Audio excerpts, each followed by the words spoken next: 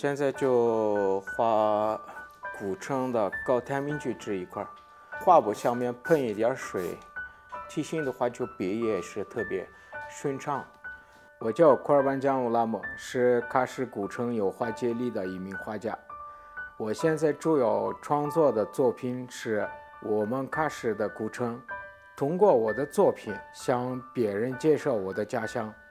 库尔班江从小就对画画有着浓厚的兴趣，在读初中时，因看到自己的老师在画布上挥洒着鲜艳的油画颜料，好奇心驱使下，库尔班江接触到了油画，从此便打开了一扇新的艺术大门。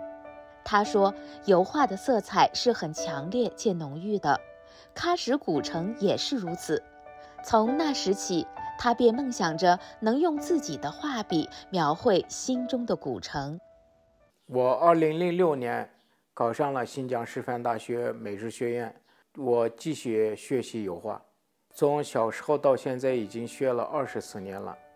很早以前我的绘画风格呃很规范的，呃冷就是冷，暖就是暖。后来我去参加了中国美术家协会的西部小说名作。美术创作高级研修班，后来以后，我的对美术的观念、理念都转变了很多。我的作品也有具象的元素，也有抽象的元素。呃，作品偏向于表现主义的，这为了表达出我对喀什古城的热爱。喀什古城是古丝绸之路上的重要节点，从古至今吸引了无数旅者和艺术家对此进行探秘。对库尔班江来说，古城不仅是家乡，更是他创作灵感的源泉，也是他心中永恒的主题。经过数十年的学习和研究，库尔班江逐渐形成了自己的创作风格。他开始在画布上重现喀什古城的每一个角落，从繁忙的手工艺品市场到静谧的巷弄，从古老的维吾尔族民居到熙熙攘攘的网红打卡地。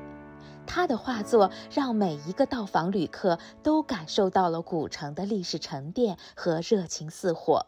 我创作了差不多八百多幅作品，占着三分之二全都是喀什古城的，呃，也有喀什古城建筑，也有民族歌舞，呃，也有传统文化，也有烟火祭社等等，这些场景对我的印象很深刻。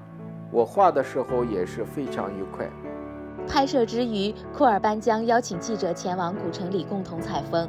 走在街巷内，库尔班江非常兴奋地向记者介绍所经之地的趣事，仿佛这里的一切对他而言都是如此生动，而他也用自己的坚持回馈家乡。